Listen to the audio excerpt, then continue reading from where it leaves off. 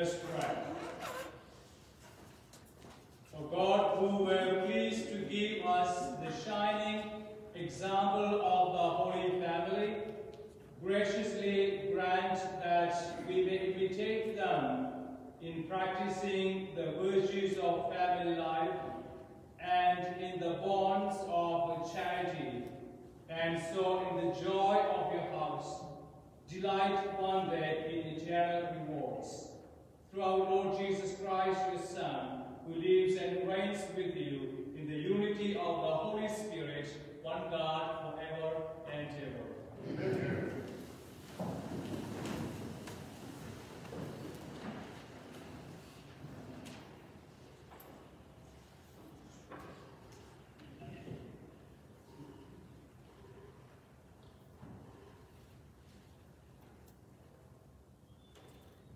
A reading from the book of Genesis. The word of the Lord came to Abram in a vision, saying, Fear not, Abram. I am your shield. I will make your reward very great. But Abram said, O Lord God, what good will your gifts be if I keep on being childless? And have as my heir the steward of my house, Eliezer.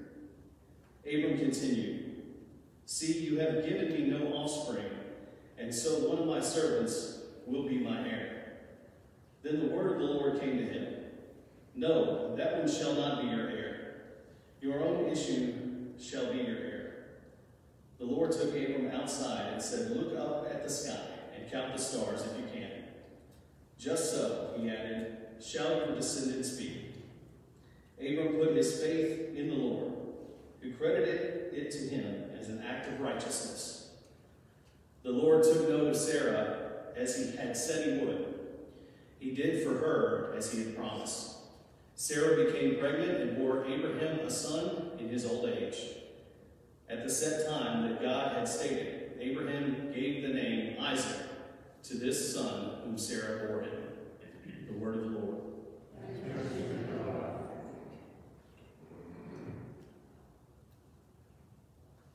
The response is, The Lord remembers his covenant forever.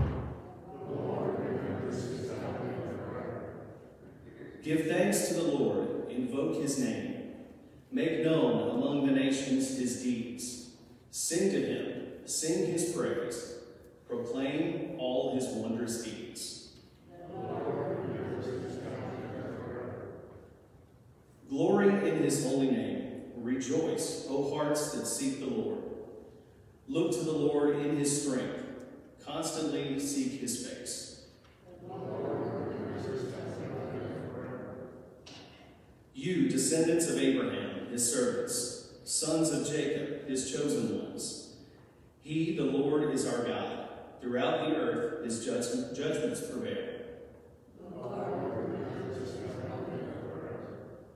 He remembers forever his covenant, which he made be, uh, binding for a thousand generations, which he entered into with Abraham, and by his oath to Isaac.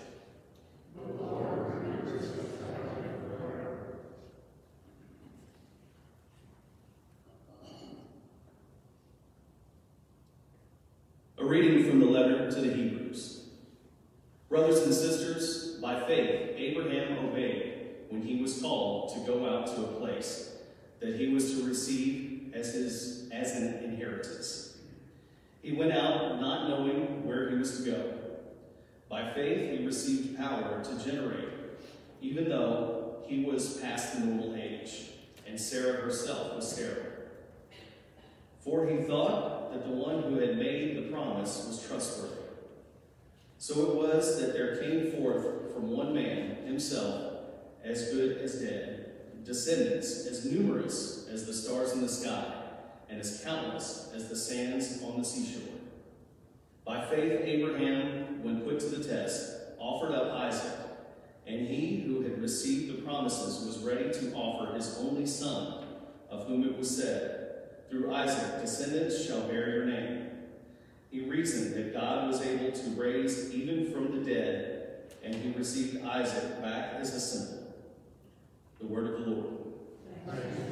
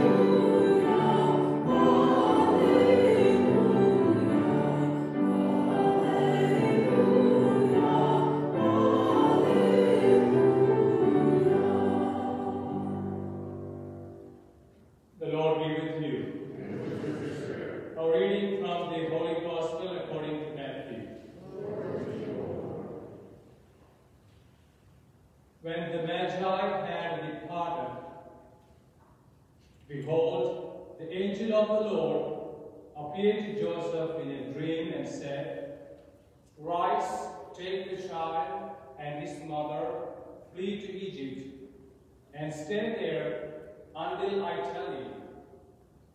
Herod is going to search for the child to destroy him. Joseph rose and took the child and his mother by night and departed for Egypt. He stayed there until the death of Herod, that what the Lord had said through the prophet might be fulfilled. Out of Egypt I called my son. When Herod had died, behold, the angel of the Lord appeared in a dream to Joseph in Egypt and said, Rise, take the child and his mother, and go to the land of Israel. For those who sought the child's life are dead. He rose, took the child and his mother, and went to the land of Israel. But when he heard that Archelaus was ruling over Judea in place of his father Herod, he was afraid to go back there. And because he had been warned in a dream, he departed for the region of Galilee. He went and dwelt in a town called Nazareth, so that what had been spoken through the prophets might be fulfilled. He shall be called a Nazarene. gospel of the Lord.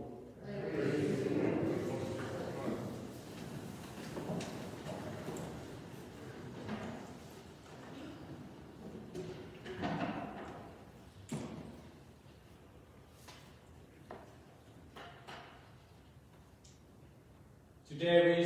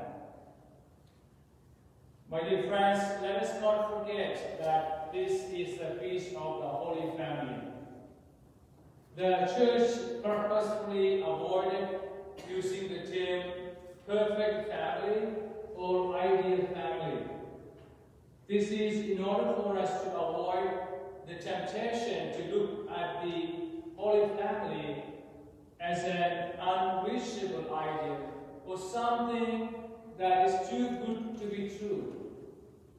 And so that we may not be hide behind justifications and excuses not to pursue growth and holiness for our families. The truth of the matter is that the Holy Family was not exempt from the harsh realities of life, from troubles and problems that affected our families even today. Many families are now facing the economic difficulties, but the Holy Family was is in a far worse condition. You know, Jesus was born in a stable, the place for animals. Imagine the crawling insects of various kinds and, and the foul odor. And to protect him from the cold, uh, bitter cold, he was wrapped in a swaddling clothes and laid him in a manger. manger. There's nothing romantic about the whole situation. The Holy Family also experienced being away from home, for they had to flee from the cruel king Herod, who wanted to kill the child, Jesus. And they faced many, many hardships in their life. So Holy Family, therefore, is being presented to us not, a, not as a romantic ideal as in the movies, but as an inspiration for our families. The Holy Family conquered their struggles through their strong faith in God. The real test of faith is obedience to God's will. And this is very clearly we can see in the three persons in the Holy Family. Joseph was a good example. Joseph decided to divorce Mary, but then the angel of the Lord appeared to him in a dream and asked her, asked him to take receive Mary. So he changed his plans and taking receiving Mary as his wife. So, and Mary's faith enabled her to accept God's plan. And Joseph's faith made him strong to protect and provide the family. And the third one, Jesus, having emptied himself, had faith in Father's will and, and, and in, his parents to care for him. And whatever is the situation we are in now, the example of Holy Family gives us hope and inspiration in the struggles our families face each day. In Jesus, Mary and Joseph, though poor and simple, uh, successfully overcame all the challenges in life, our families too can be successful because we put our faith in God, who is with us, Emmanuel, and we are always ready to obey His will in our lives. The, the book of Sirach exhorts the children to respect and obey their parents, and when they grow old, to take care of them. I'm so glad to see many families in St. Martha Parish take care of their elderly parents and they take turns to care for them, especially when they are sick. And I could see for many families they were taking care of their parents, elderly parents during this pandemic. Blessed Mother Teresa of uh, Calcutta said, There is a terrible hunger for love. The elderly, the young, hunger for love. St. Paul in his letter to the Colossians reminds us to deal with each other our kindness, to be patient with each other, to forgive and respect each other continually, and not to let our pride and selfishness erode our love for one another. In conclusion, the only sure formula for a happy and strong family is faith in God. We may encounter the world, the worst trials and difficulties in life, but as St. Paul said, if God is with us, who can be against us? So let us entrust our families in the protection and guidance of the Holy Family of Jesus, Mary, and Joseph. Then we hope that God will also welcome us into his eternal family of God. May they, of Jesus, Emmanuel, bless our, our families and all the families in the world during this Christmas season. Amen.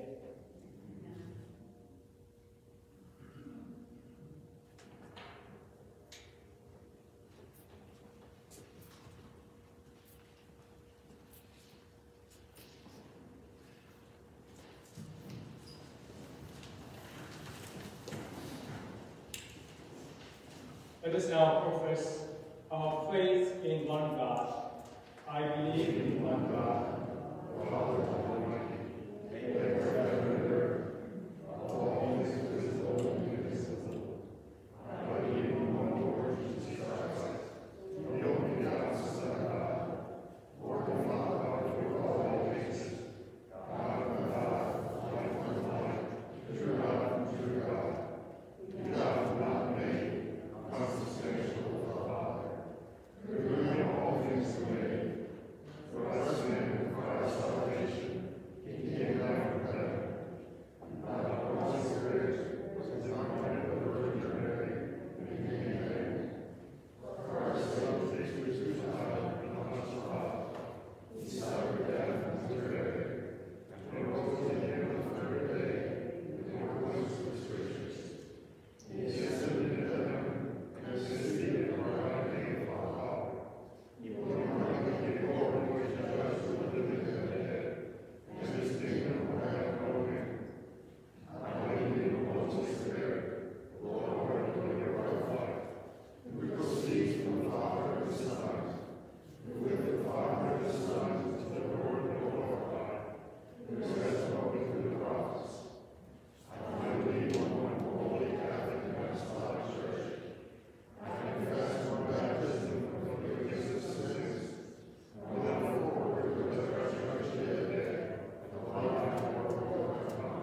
Amen. Let now confidently pray the needs of the church, needs of the world, and our own needs. For the Church of God throughout the world, that we will work for unity even in the midst of our diversity. We pray to the Lord. Lord, hear our prayer. For leaders of nations, that during this holy season of peace, They will work to break down barriers that divide. We pray to the Lord. Lord, hear our prayer. For parents who have experienced the death of a child, that they will find healing and strength. We pray to the Lord. Lord, our prayer. For those who struggle to keep their families together, that they will be strengthened in their efforts through the mutual support of members of our faith community. We pray to the Lord. Lord, hear our prayer. During this Advent season, may our support for the Catholic Services Appeal be a sign of our gratitude for God's generosity to us. We pray to the Lord. Lord, hear our prayer. For all those who suffer the consequences of the current pandemic, that God the Father may grant health to the sick, strength to those who care for them, comfort to families, and salvation to all the victims who have died. We pray to the Lord. Lord, hear our. For the sick, that they will be comforted by the tender compassion of God. And for all the prayer intentions listed in the book in the vestibule of the church, we pray to the Lord. Lord, hear our prayer. For those who have died, that they will rest securely in the eternal peace of God's kingdom, especially Ron Straw, brother-in-law of Regina and Clement Hume of our parish, Nancy Hoskinson, parishioner, mother of Leslie Corrigan of our parish. We pray to the. Lord, hear our prayer. And for recommended to our parish, in particular those of this Mass, Irvine and Francis O'Reilly, we pray to the Lord. Lord. Let us now pause for a while as we bring our own prayers to God.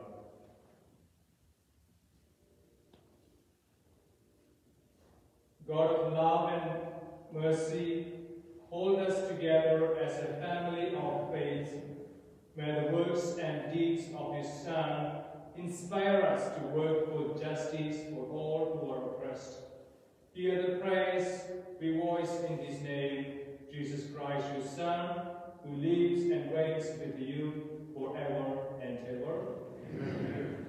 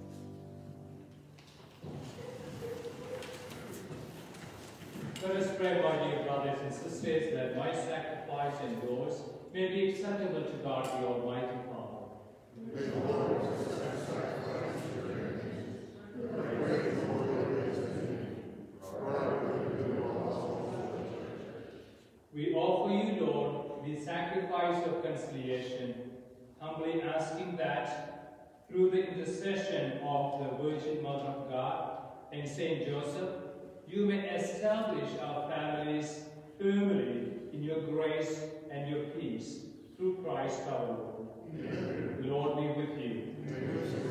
Lift up your hearts. Let us give thanks to the Lord our God. It is truly right and just our duty and our salvation, always and everywhere to give you thanks, Lord, Holy Father, Almighty and eternal God, through Christ our Lord.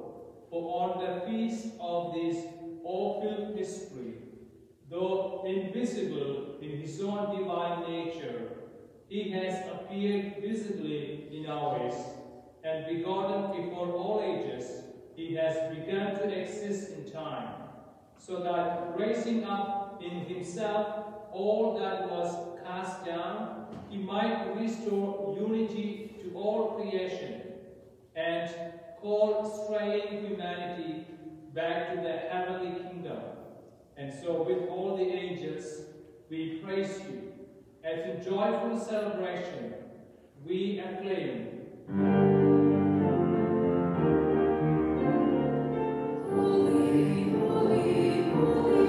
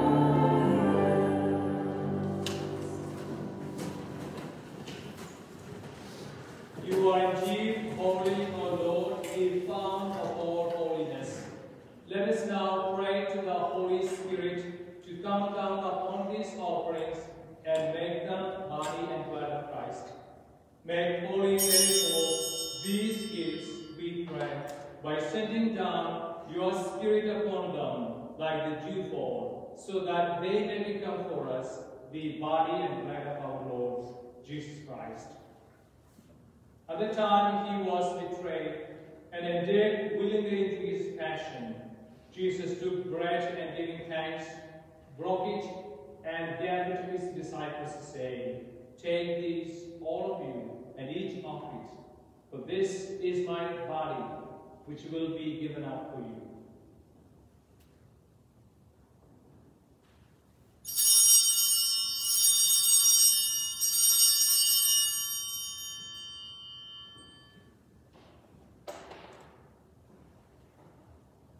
In a similar way, when supper was ended, he took the chalice, and once more giving thanks, he gave it to his disciples, saying, Take this, all of you, and drink from it. For this is the chalice of my blood, the blood of the new and eternal covenant, which will be poured out for you and for many, for the forgiveness of sins. Do this in memory of me.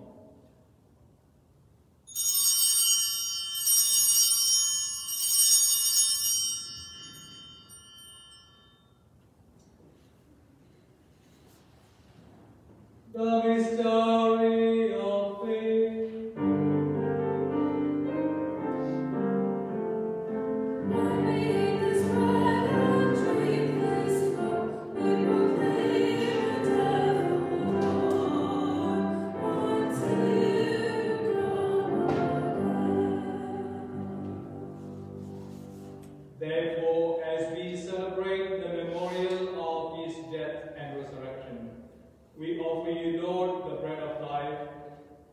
the chalice of salvation, giving thanks that you have held us worthy to be in your presence and minister to you. Humbly we pray that partaking of the body and blood of Christ, we may be gathered into one by the Holy Spirit.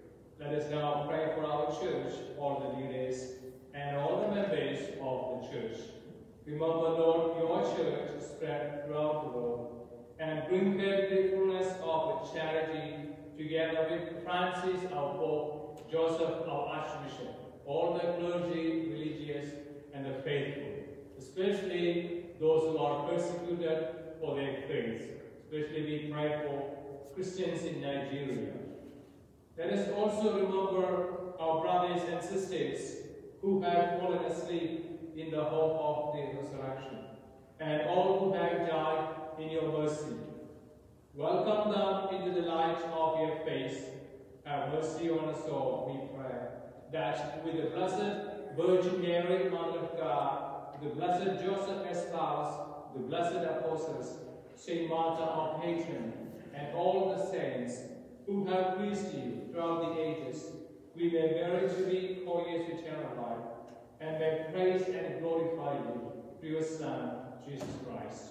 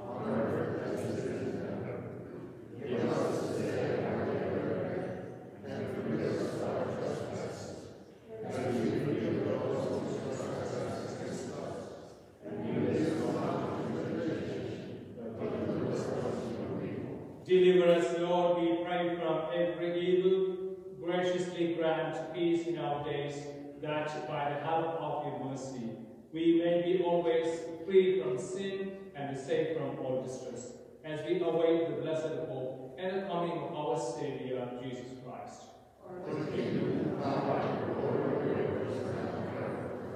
Lord Jesus Christ, who said to your apostles, Peace I leave you, my peace I give you.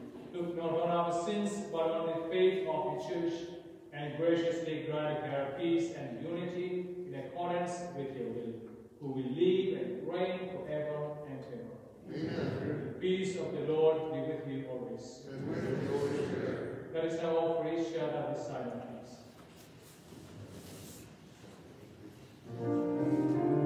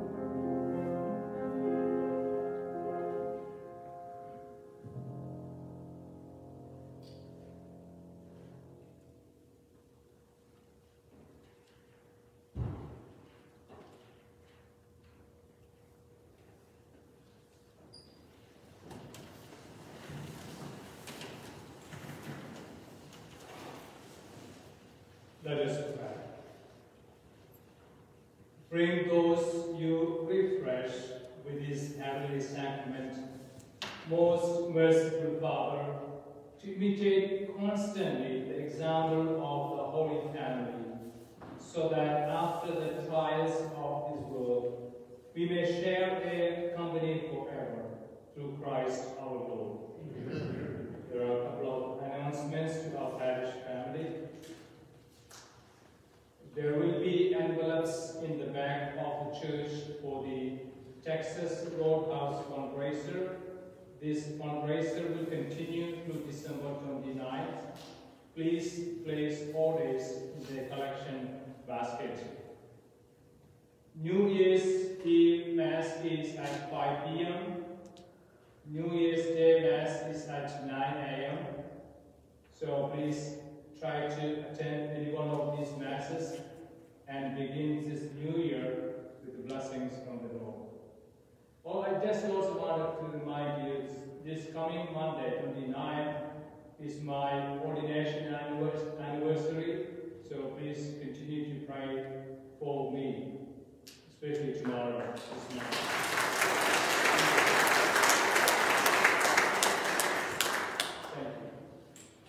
Um, the, the parish is offering the living faith.